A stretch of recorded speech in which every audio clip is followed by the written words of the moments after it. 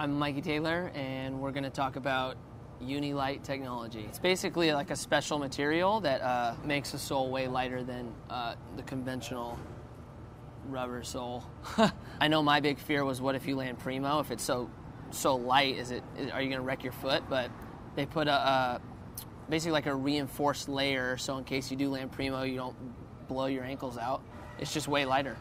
So, I mean, lighter's better, right? lighter shoes weigh less.